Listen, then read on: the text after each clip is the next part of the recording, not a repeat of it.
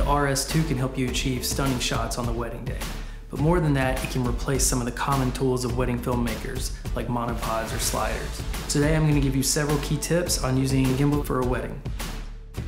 Now I do wanna talk about my setup with the RS2 real quick. I have these handles flipped up. Uh, the standard way is having them flipped down. The reason I like them up is because I get more variety in my camera height. So I can hold on the normal grip right here. And if I want the camera a little lower, rather than kind of trying to go like this and lower it down, I can just go here. The camera is a little bit lower. It's a little more comfortable to shoot at a lower level. It's great to have an external monitor when you're working with your gimbal. Now, you may be thinking, well, how come I just can't, you know, pop out the screen on the back of the camera here and then move it around?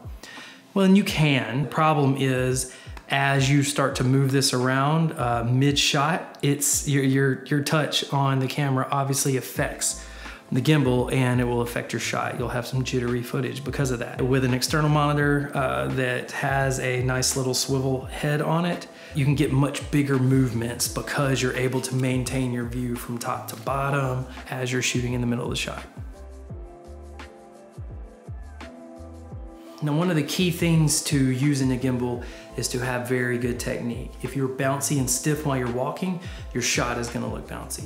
So you need to walk smoothly. And the best way to do that is by bending your knees slightly and moving slowly. You always wanna walk forwards or backwards, never side to side. And if we're doing a lateral shot where we're tracking, you wanna turn your body and walk this way. I remember when I first started, I thought any shot could just be made better because now I'm moving the camera, but I stopped thinking about the composition. I stopped making a beautiful image. So when you start moving the camera, think about composition first, make it look good if it were a still picture or a static shot, then add your movement to that beautiful composition and your images will be much better.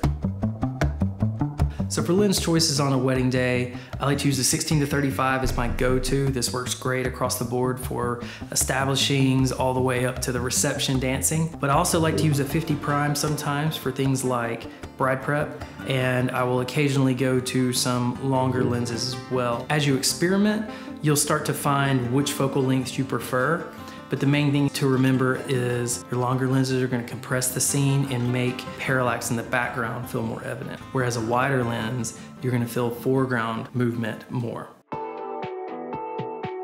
So right when you show up at an event, one of my favorite things to do is go ahead and get establishing shots. I like to find a good angle to shoot the building from. I like to find some foreground. And then many times I'll do a nice push through and it's always good to do several takes of your establishing shots, maybe from a couple, couple different angles. Sometimes you don't know what's gonna be the best angle until you shoot there. So play around a little bit with this.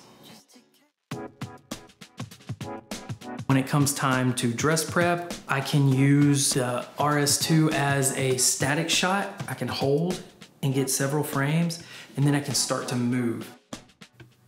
Now I like to use a shotgun mic during the prep, but to get more stable footage, I take it off the camera and mount it to the handle. This slightly limits the range of motion, but I only do this at the beginning of the day to get better audio. When it's time to put the shoes on, I love to get low by holding the trigger, turning the camera down, getting right down near the shoes. Now sometimes we'll do a first look with the dad. The dad's coming to see the bride for the first time. So on a situation like that, maybe I'll start walking out and come back and then land in a composition that shows the two of them in a profile.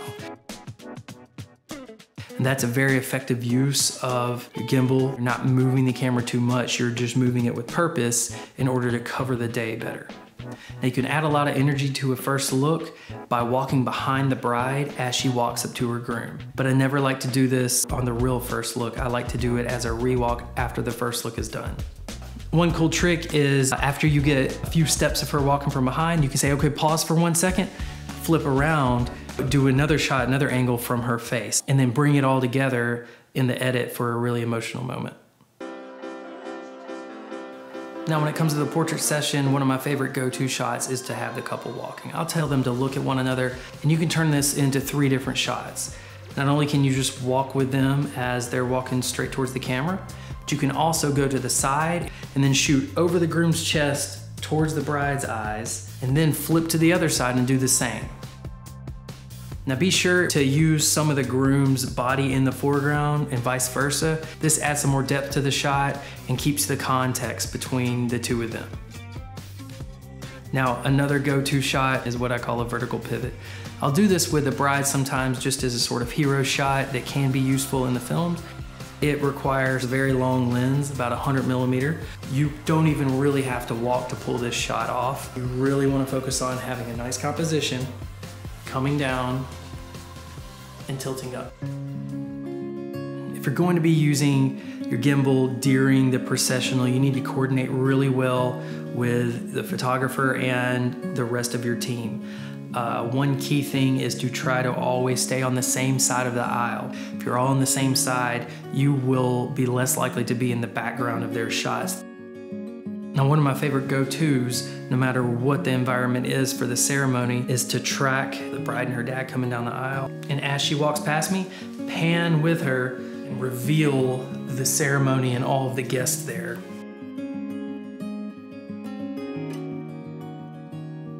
Now for the kiss at the ceremony, I like to add a slow push in, just moving forward. And then I like to pause and be ready for when they come down the aisle.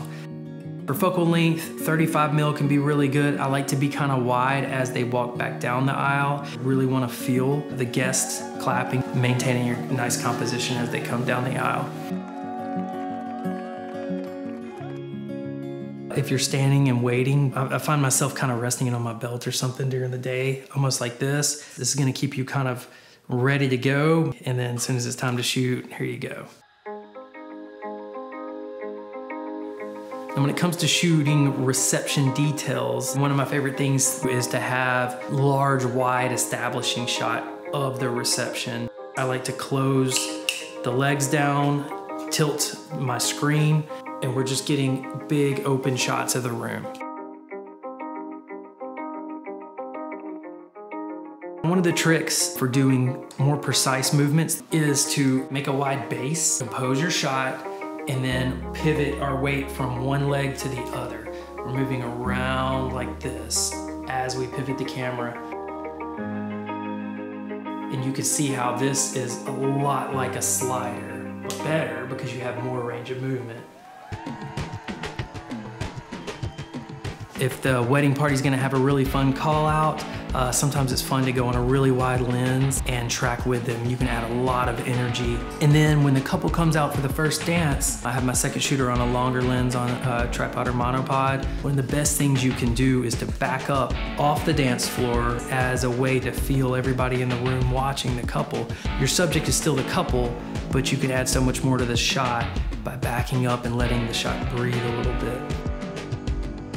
One of my favorite moments during the first dance is to create two shots in one. This can be done during the father-daughter, mother-son dance uh, or the first dance. But what you need to do is look off to the side, find someone that's watching the couple and start your shot on them. Use your peripheral vision to know where, know where your subject is. Back away, pull away, and then land your shot on the dancing.